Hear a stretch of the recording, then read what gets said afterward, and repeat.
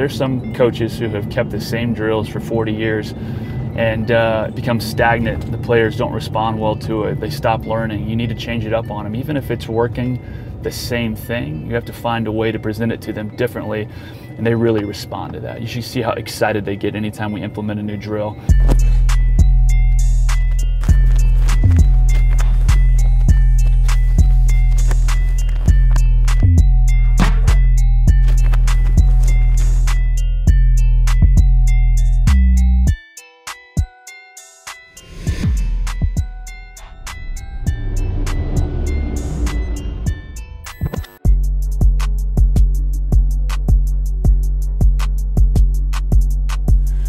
Love you.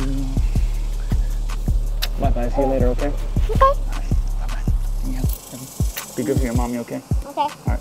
Love you.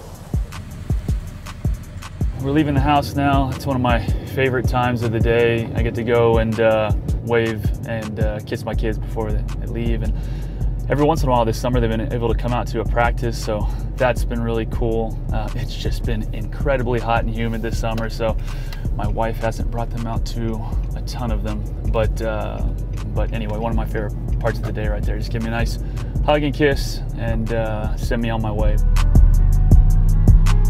I get DMs all the time from people all over the country, all over the world, who say, you know, what do you do specifically with your quarterbacks? I hear from other quarterback trainers, I hear from uh, college coaches, get phone calls with college coaches and high school coaches, and they want to know what we're doing with our guys so that they can use some of those techniques and drills uh, with their guys. And I just said, hey, you know, let's uh, let's kind of give everyone a, a sneak peek into what we're doing.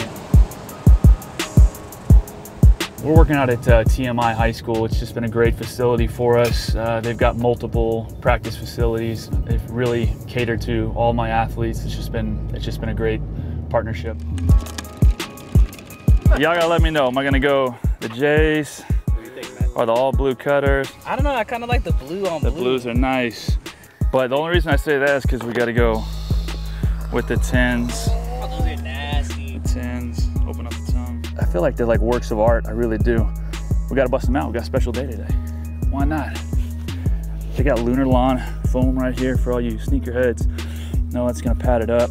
I really like those new Nike Vapors, but they just are just a plastic plate on there. So for all you quarterbacks, because I hate it when quarterbacks don't have their shoes tied, here's what you gotta do.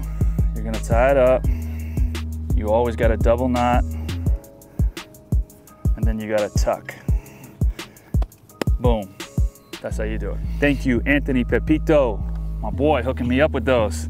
Three year anniversary gift to train as his, his son, Trey.